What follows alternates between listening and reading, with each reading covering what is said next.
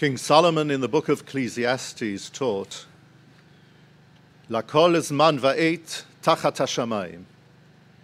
There is a time for everything, a season for all activities under the heavens. Et lachashot, the et lidaber. There is a time to be silent and a time to speak. Yom HaShoah is a time to be silent. The Torah tells us about the sudden deaths of the two sons of Aaron the high priest, and his response was, Vayidom Aharon. Aaron was silent. No words could encapsulate his deep sense of grief. And no words could do justice to the lives of those who had passed away. And if this is the case with regard to the loss of two children, Kal how much more so is it the case with regard to the tragic loss of one and a half million children, together with four and a half million adult men and women, totaling six million Jewish victims of the Shoah. No words can adequately describe the bestiality, the evil, and the wickedness of the perpetrators. No words can encapsulate our deep, continuous sense of pain and grief.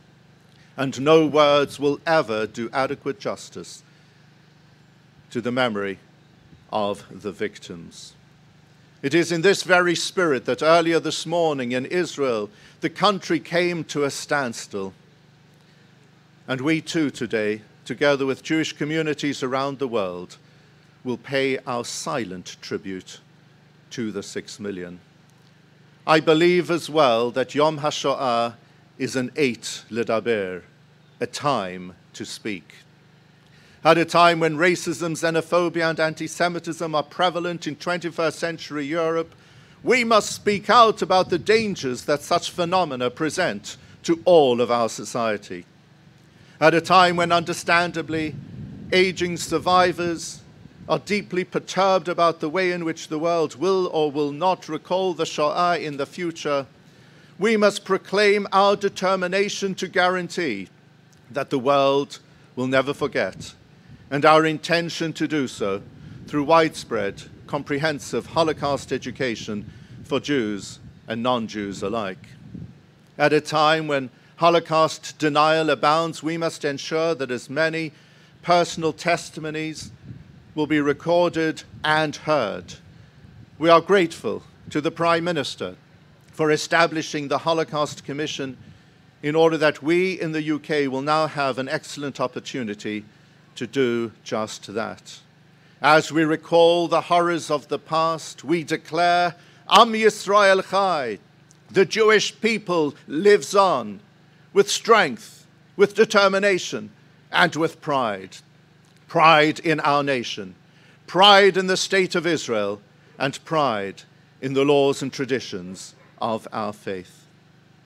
On our lips today are the words of the Kaddish and the Keil Malay Rachamim memorial prayer. And we declare our intention to pay tribute to the memories of the victims through us leading lives which are filled with humanity, compassion, understanding, warmth, and dignity. May the quiet reflections that we have for the horrors of the past give us strength and encouragement for our future.